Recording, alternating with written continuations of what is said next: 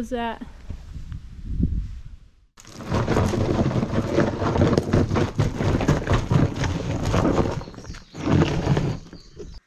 Okay, so today we got this new uh, toy in the mail, the Cyrusher uh, e-bike. I have actually never touched an e-bike before, so I am pretty excited to see what this thing does.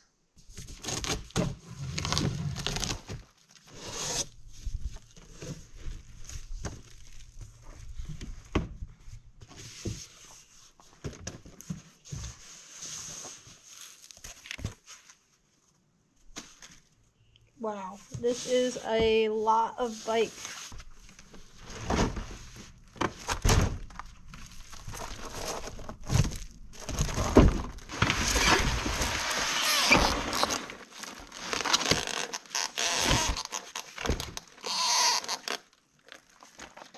Some assembly required.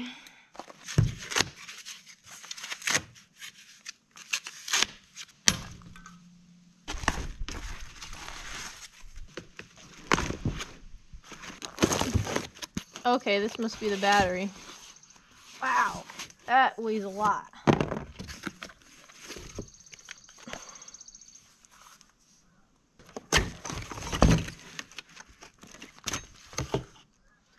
Ooh, look at that.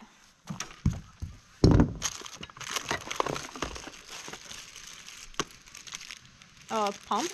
Tire pump included? That's pretty neat.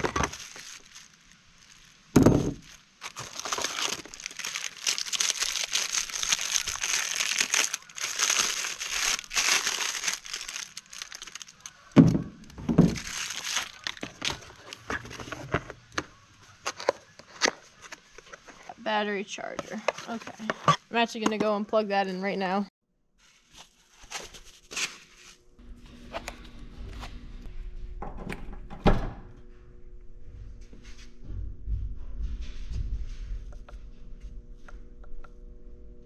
Ooh, almost looks like it's fully charged. Oh, ho, ho, ho. Those look like nice instructions. I guess we'll find out, but I like that.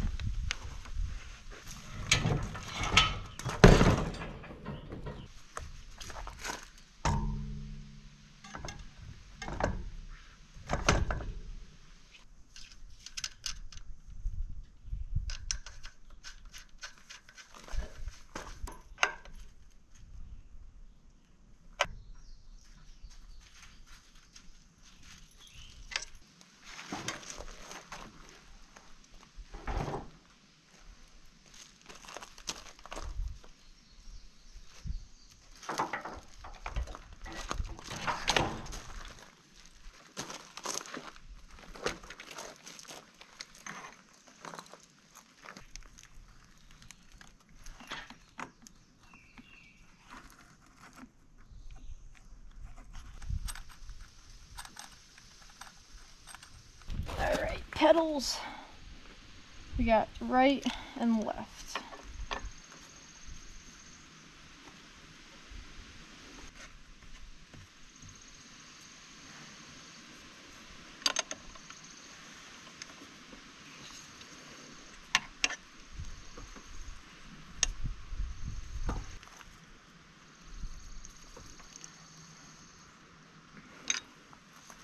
Okay, so all that I think is left is really for me to adjust all of the handlebar related things just so that everything's in a good position for me. Okay, so for me, I like it to, to be more out in front at a slight, slight downward angle. So somewhere around here feels pretty good.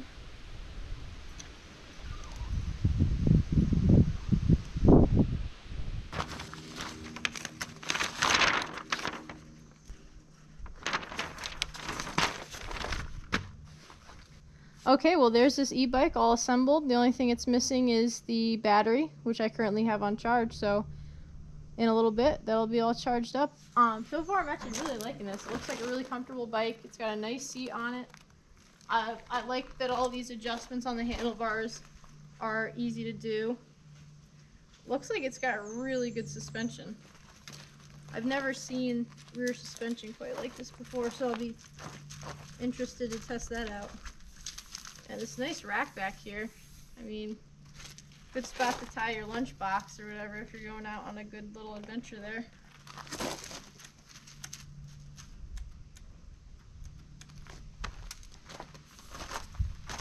Oh, we are missing a part. We are missing our front bumper. There we go.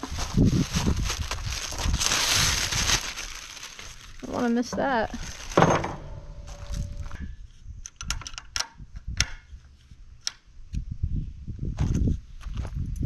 So that took me less than an hour to put together, and I wasn't rushing by any means, and I did have a couple of little interruptions. And you know, I'm pretty impressed with the toolkit that came with this. The instructions are nice, but everything's everything's pretty straightforward. The only other things that I found that you might need were um, I think I used a 10 and an 8 millimeter at one point to fix that light and a Phillips head screwdriver. I might do this off camera, but uh, something that I usually like to do with a new bike is I'll just go around and I will go over everything and I'll check all like the connection points and make sure everything's tightened. But this does look like a this does look like it is very well put together.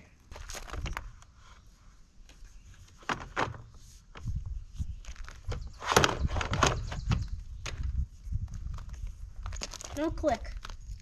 I like it when things click. 这个是小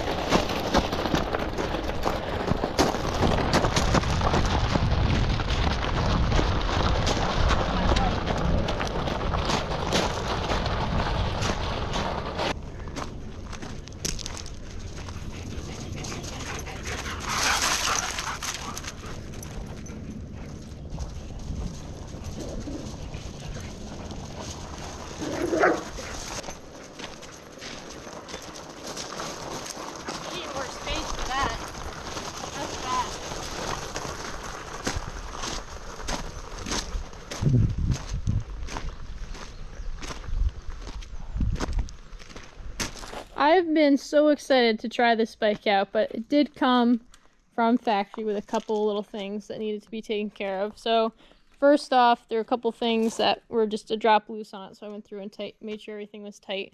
Um, this joint here being one of them, there's a lot of unnecessary pivot in this. Um, something else is that the brakes were one of them was one of them was very loose. So I spent uh, a little bit today just bleeding the brakes to get it so that both the front and the back brakes were working correctly. And then I randomly had the issue where all of a sudden this e-bike was not um, getting power to the motor and it wasn't actually doing the e-bike part. Uh, it turns out that one of these bolts here was just a smidgen too tight and it was making the bike think that the brakes were applied when they were not. So, uh, quick call to customer service. Uh, super helpful guy on the phone and had the problem solved in just a couple minutes. So, I am excited to finally actually give this thing a proper test ride.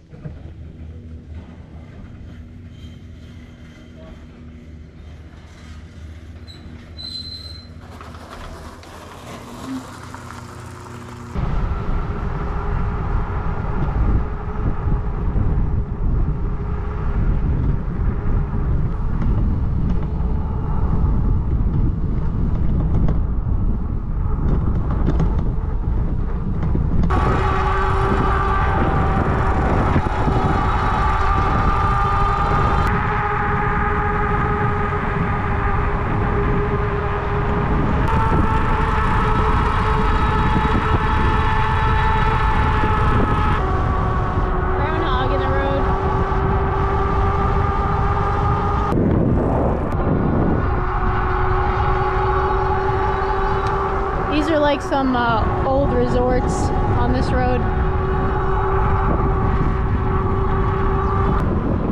This house here came up on the market a couple years ago and it was like a million and a half dollars or something, but it's probably because of that view. I mean, it's like in a swamp.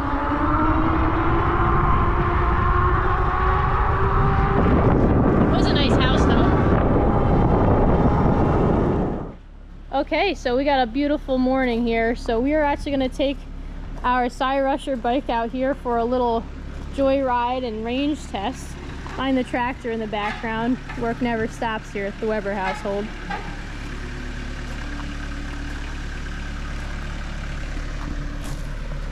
So quick overview on, on what we're doing here today with this range test. So I clocked in at about 122 pounds this morning and I tied this bag down to the back.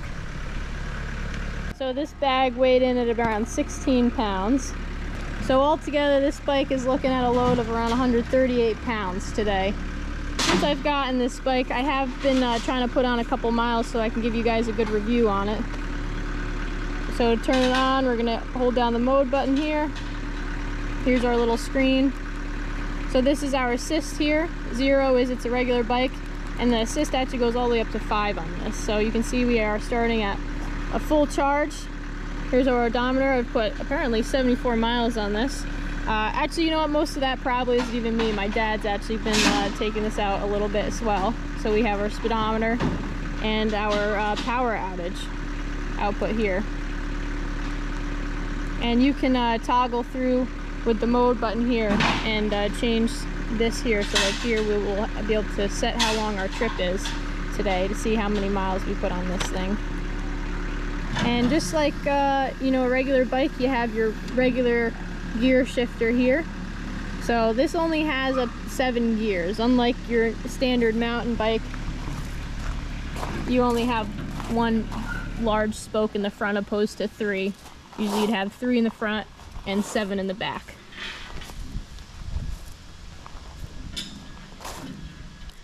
So let's strap our helmet on and see where this thing takes us. So we're gonna do this ride with the uh, assist on all the way.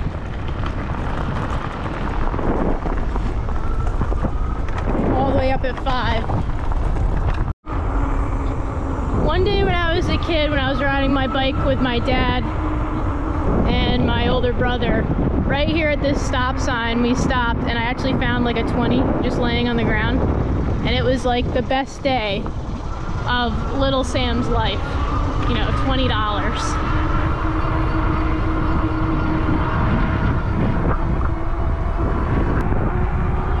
It's amazing how effortless riding this bike is with it cranked up this high. There's absolutely no resistance in my pedals.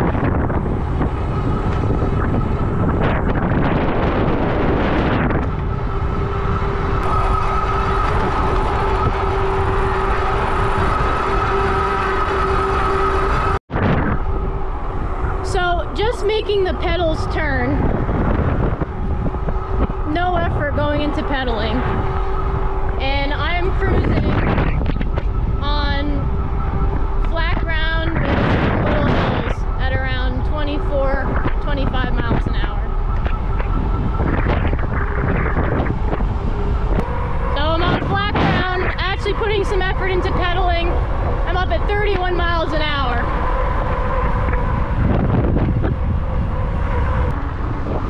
This here used to be an old roller skating rink. Spent a couple uh, Friday, Saturday nights there back in middle school. Unfortunately, it's closed now. Snow blower. So a really awesome feature about this bike is it has is it has this throttle here so like right now I'm at an intersection, I'm on a hill. Um, so I, I love to use it for this, especially if you have a situation where you need to get out of the intersection pretty quickly, cars are moving fast. I like to just give it a little bit of throttle just to get the bike moving and get me started so you're not sitting there fumbling around with the bike, nearly getting hit by cars. This is a pretty steep hill here. Maxing out the wattage. Still barely putting any effort into pedaling though, and going almost 15 miles an hour.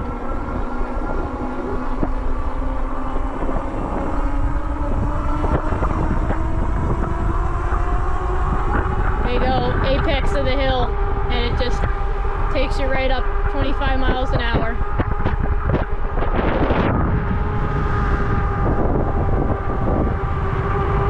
Wow, look at this new house going in. Nice view of the mountains.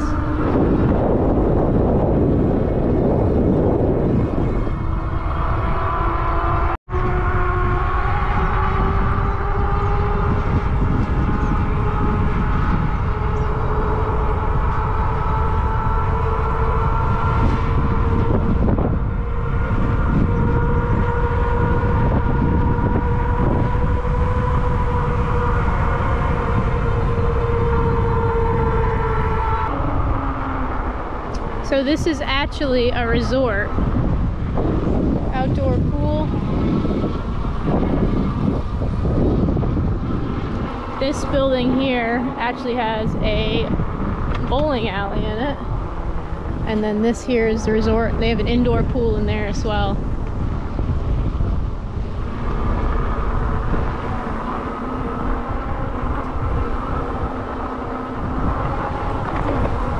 Should be some cool trails here.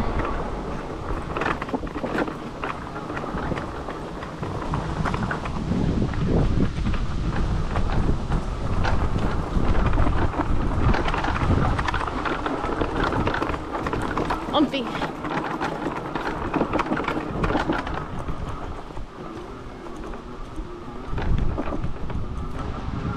Is this a golf course?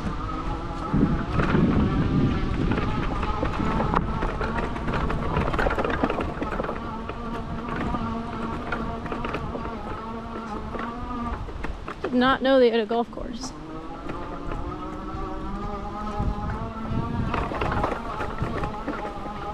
Oh, this is a steep hill. See if I can do it.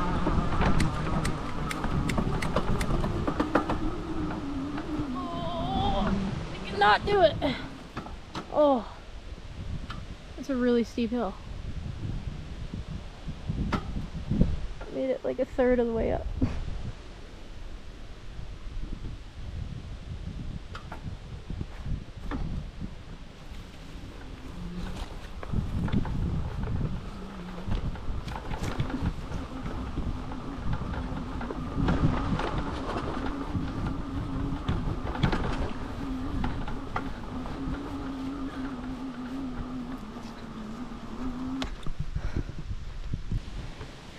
Well, on the bright side, you can use the throttle to uh, help you push the bike up.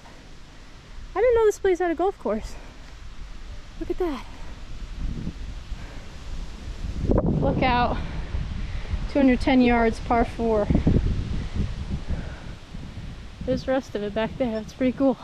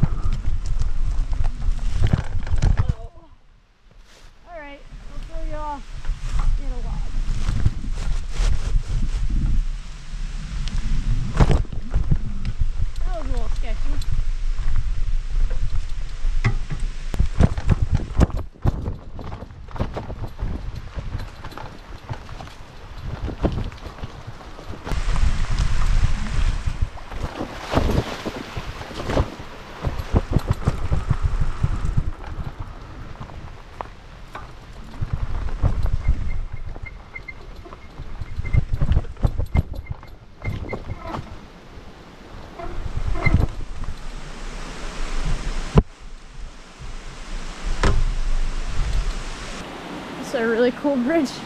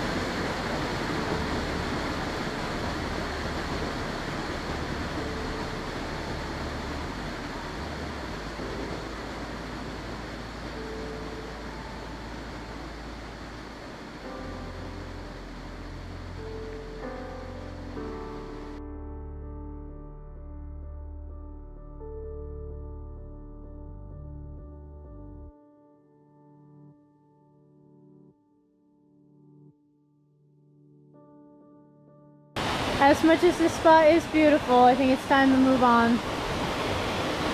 On this wooded trail here, I actually turned down the assist to one because otherwise it's just launching you too fast and you can't control the bike on this rough terrain.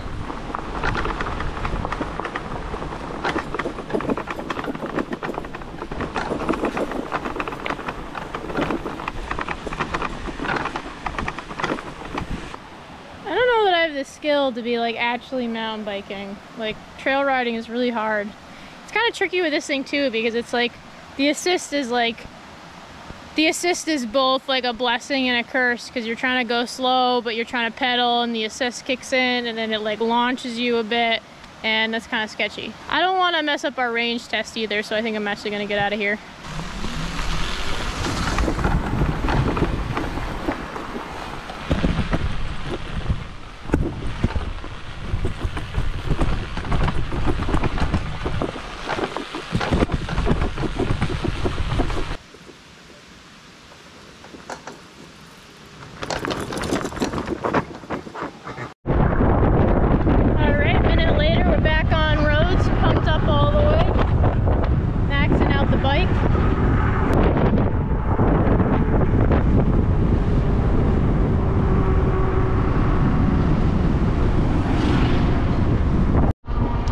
pretty steep hill I'm going up here.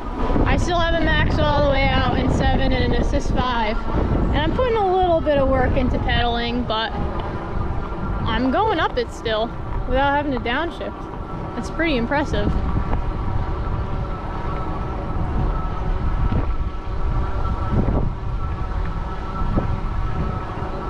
Maxing out the power outage on it though. That eats up the battery, I'm sure. Never up this road.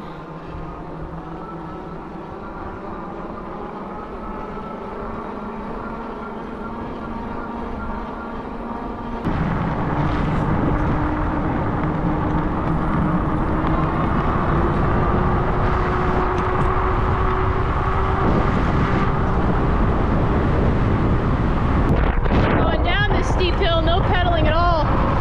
Woo, fast. A lot of nice little streams up here.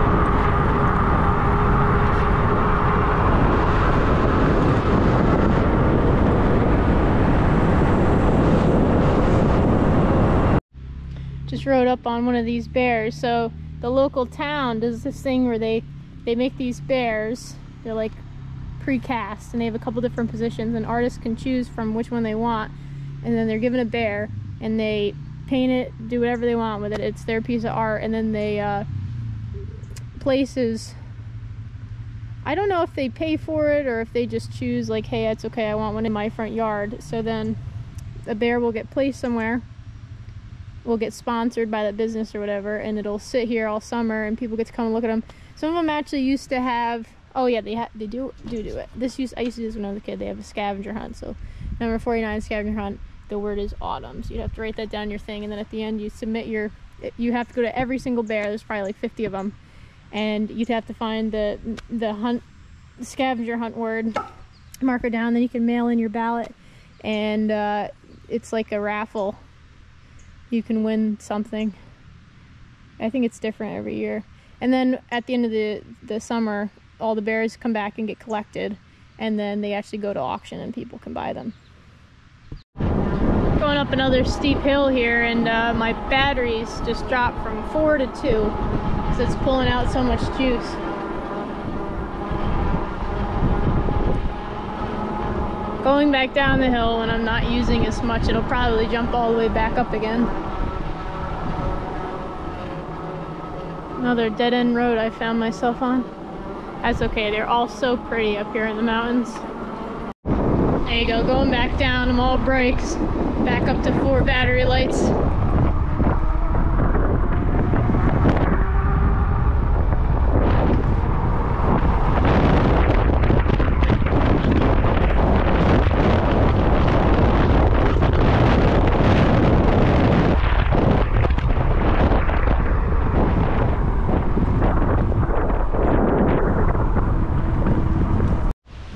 Just saw something pretty cool. I'll turn around and go look at it.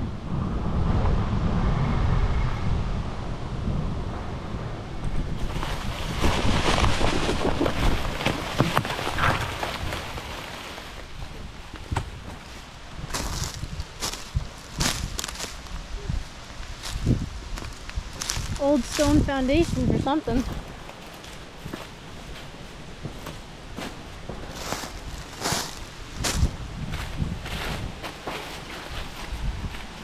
Pretty neat. This must have been the fireplace right here.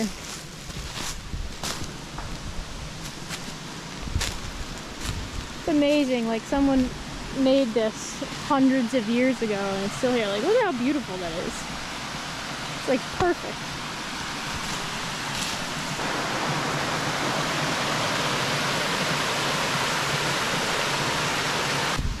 Pretty cool. It's something you wouldn't normally see just driving by.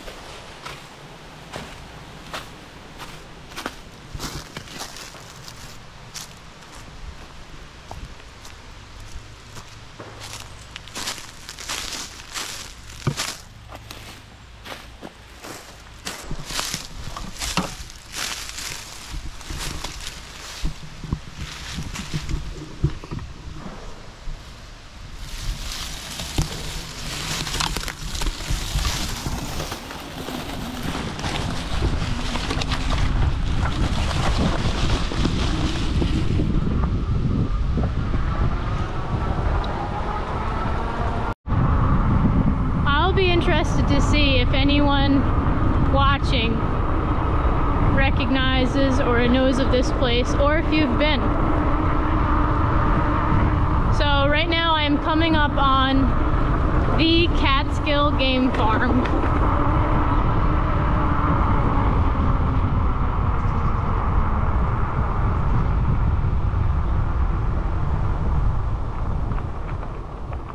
Now it's called the Long Neck Inn.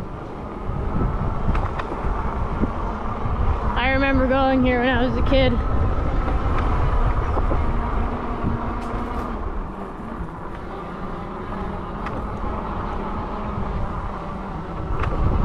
Your main entrance the ticket booth.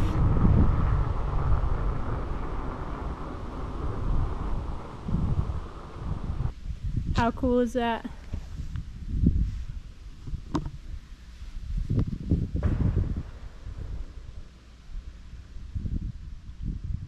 It's looking a little bit rough. Look at this building here. I don't know if this used to be offices or something, but it's all collapsing.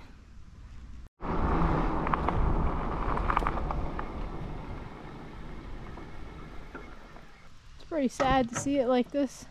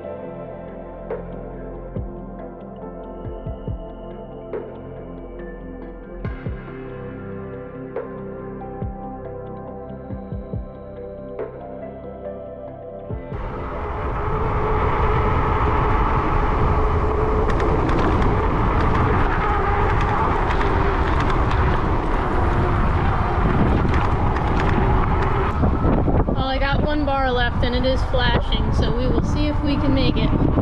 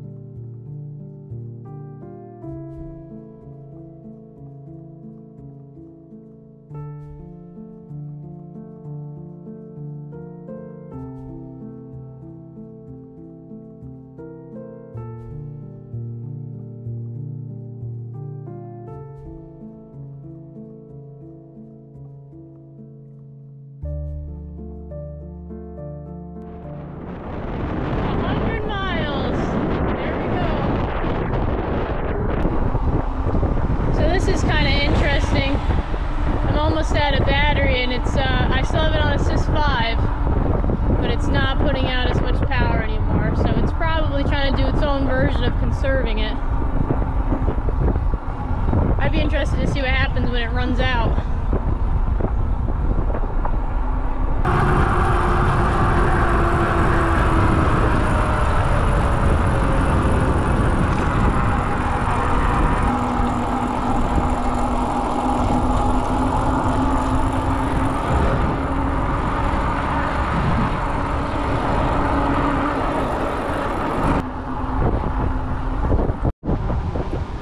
Bike's definitely getting tired. It's barely putting out any wattage anymore. 120, 160, it won't go past that. I might actually have to start shifting the bike's gears itself pretty soon. Yeah, this, this definitely isn't assist level 5 anymore.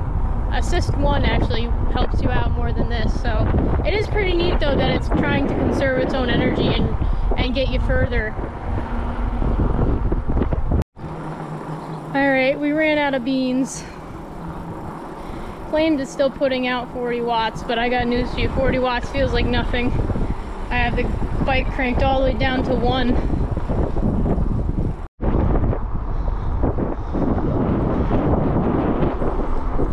Without any assist, this bike is a chore to pedal.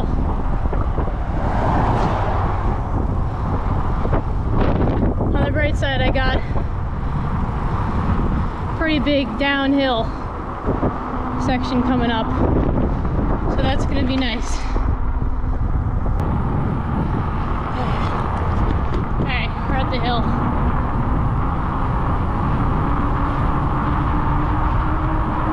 Oh, that's a good stop right there.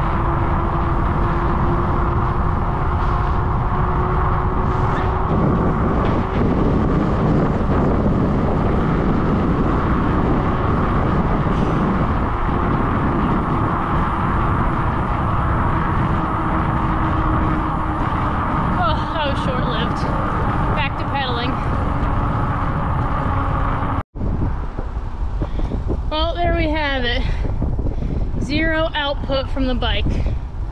Enough power to keep the screen on, I suppose.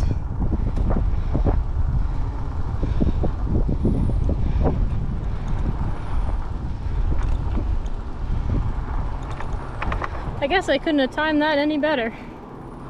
Because we are home.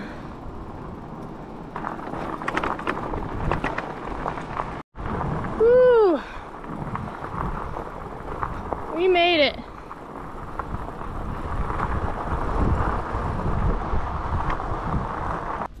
Well, there we have it, 104 miles. Let me tell you, those last four miles were rather unpleasant. Here's the Cyrusher bike compared to my regular mountain bike. This would be your standard mountain bike. So I'd say one of the big downsides to this bike is just the sheer weight of the thing. If you have to move it around, transport it, or when the battery dies and you're stuck without any help, this is probably an 80 pound bike compared to, say, this one, which I can pick up the whole bike one hand, no problem. This one, I struggle with too. It's probably an 80 pound bike. But overall, I love this bike. I've had such a blast with it. So now I've put 104 miles on it. Uh, so I think that's a, a pretty good review margin there. So I'll be sure to leave a link down below to the website where you can get your very own Cyrusher bike. And they also have uh, a couple different models of this bike. There are also smaller bikes available and even a step-through model if you have mobility issues or even for short people. They're probably great for that as well. So I will be sure to leave a link down below to the Cyrusher website where you can get your very own e-bike. I'd never used or owned an e-bike before this one and I gotta say it has honestly gotten me back into cycling. I am far from being uh, in shape, we'll say. So there's something really awesome about this is you can start out on say assist 5 and slowly work your way down or use higher assist in different circumstances where you're having a hard time or even use the throttle if your legs need a little rest or something. So so I think that was a pretty good ride. Uh, we started with 74 miles and ended up back here at 104 miles. So we put about 30 miles on that e-bike. Uh, most of the time that was on assist 5 except for the rare occasion and there was quite a bit of uh, different terrain in there. Mostly road, some off-roading, uphill, downhill, and flat. So I think that was a pretty good uh, variety ride. So that was 30 miles with 138 pounds of load on the bike. So I think that, that did a pretty good job. Well, uh, I'm going to put this on the charger so it's ready for the next adventure. Till next time.